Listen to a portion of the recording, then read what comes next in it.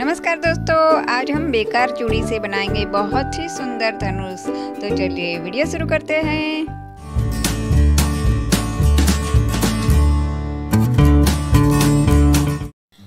तो आज हम बनाएँगे सिर्फ़ एक वेस्ट चूड़ी से बहुत ही सुंदर धनुष तो इसके लिए मैंने पास ये एक चूड़ी थी, उसका मैंने यूज़ किया है। अगर आपके पास कोई भी तार वगैरह ना हो तो आप सिर्फ़ ये चूड़ी से बहुत ही प्यारा सा धनुष बना सकते हैं और ये धनुष सिर्फ़ राम जी के लिए ही नहीं। आप चाहे तो आपके घर में लड्डू गोपाल जी हो तो आप उसके पास भी ये रख सकते हैं। तो अब मैंने यहाँ पे एक चूड़ी ली है जो मेटल की होती है, वो बैंगल लिया है। और इसका जो एक्स्ट्रा पार्ट है, वो मैंने कट कर लिया है। आपको जिस साइज़ का धनुष बनाना हो, उसी साइज़ का आपको चूड़ी का साइज़ रखना है, बड़ा, छोटा कर लेना है।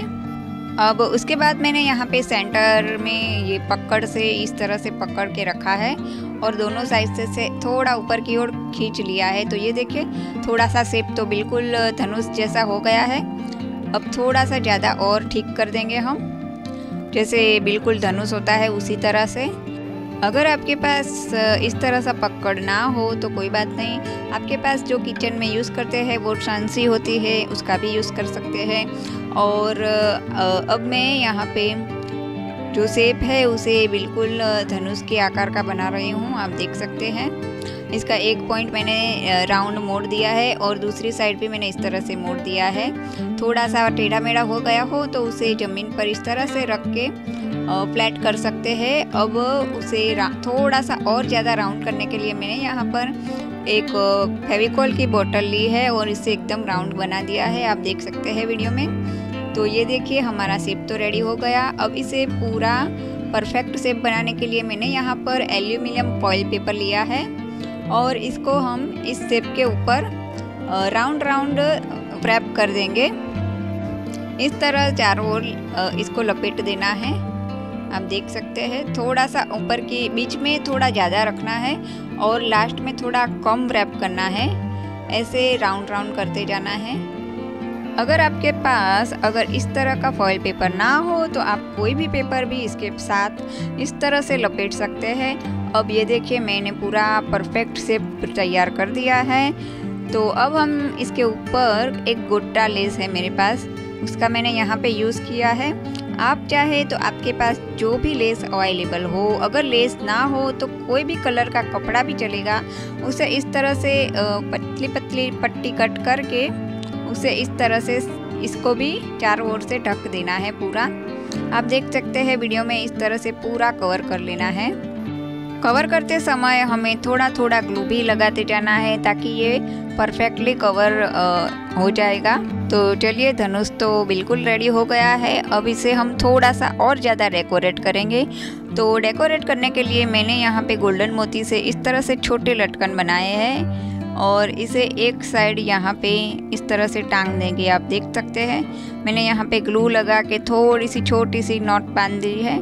अब फिर से यहाँ पे थोड़ा सा ग्लू लगाना है और मेरे पास थोड़ा सा उनका टुकड़ा है, उसे हम यहाँ पे लपेट लूँगी। आप भी इसी तरह से इसको और ज़्यादा डेकोरेट कर सकते हैं। आप चाहें तो इसके ऊपर कोई स्टोन या फिर कुंदन लगा के भी इसे डेकोरेट कर सकते हैं। तो अब ये उनसे भी मैं थोड़े थोड़े अंतर पर इसे इस तरह से राउंड राउंड फिर से इसे लपेट लूँगी। लपेटने से क्या होगा कि ये ज़्यादा अच्छा लगेगा और बिल्कुल रियल धनुष के जैसा ही लगेगा ये। तो चलिए, ये धनुष रेडी हो गया। अब हम इसकी पणच बांधेंगे। तो इसके लिए मैंने यहाँ पे गोल्डन कलर का जो थ्रेड होता है, उसका यूज़ किया है। इससे हम इसकी पणच भी बाँध देंगे। तो ये बन जाएगा परफेक्टली राम जी का धनुष तैयार तो अब ये धनुष तो रेडी हो गया है। अब हम इसके लिए बाण भी बनाने होंगे।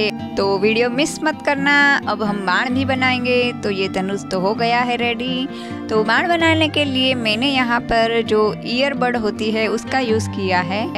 उसका जो कॉटन है, उसे मैंने निकाल दिया है और थोड़ा सा ज़्यादा कट कर लिया है।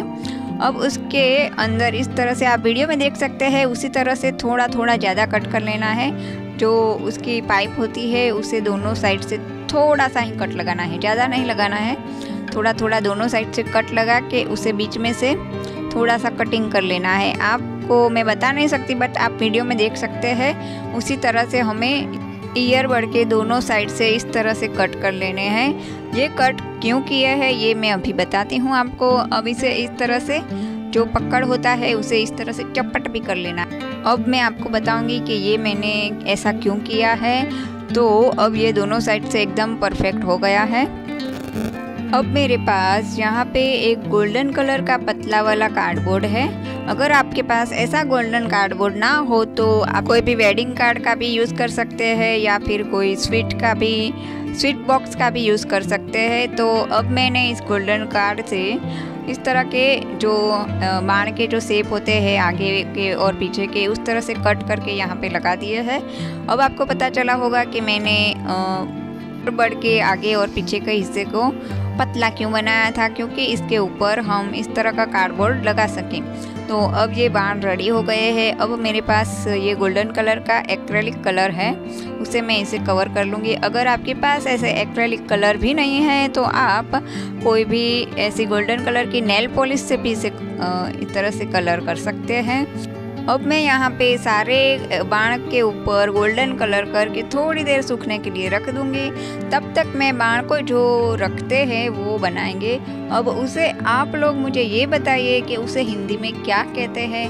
कमेंट करके ज़रूर बताइएगा। अब वो बनाने के लिए मैंने यहाँ पे पेपर कटिंग किया है और उसी साइज़ का मैंने गोल्डन कलर का कार्डबोर्ड यूज़ किया है और उसे हम इस तरह से राउंड कर देंगे। अगर आपको ये बड़ा बनाना है तो आप यहाँ पे आसानी से स्टेपलर लगा सकते हैं और एकदम राउंड बन जाएगा। यहाँ पे मैं एकदम स्मॉल साइज़ का बना रही हूँ, इसीलिए इसके अंदर स्टेपलर जरा भी नहीं जाएगा। यहाँ पे मैंने फेविबॉन्ड का यूज़ करके इसे लगा लिया है इस तरह से।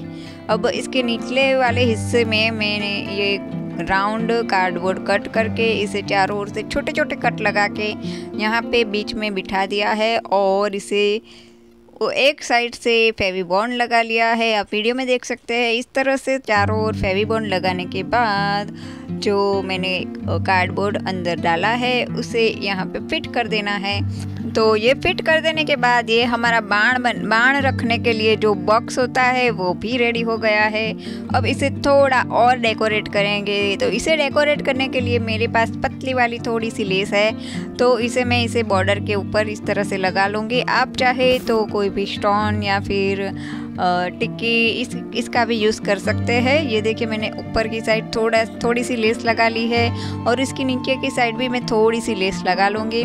तो चलिए, अगर आपको मेरा ये वीडियो, ये मेरा धनुष बनाने का आइडिया पसंद आया हो तो लाइक ज़रूर कर दीजिएगा। और अगर आप मेरी चैनल पर नए हैं तो सब्सक्राइब करना बिल्कुल भी मत भूलिएगा। तो तो अब हमारा धनुष बाण और बाण को रखने का बॉक्स भी रेडी हो गया है। तो यहाँ पे मैंने ऊन लगा लिया है। ये ऊन मैंने इसीलिए लगाया है ताकि हम प्रभु जी को पहनाएँगे। तो पीछे की ओर से इसे बांधने के लिए मैंने ये उन यहाँ पे बाँध दिया है।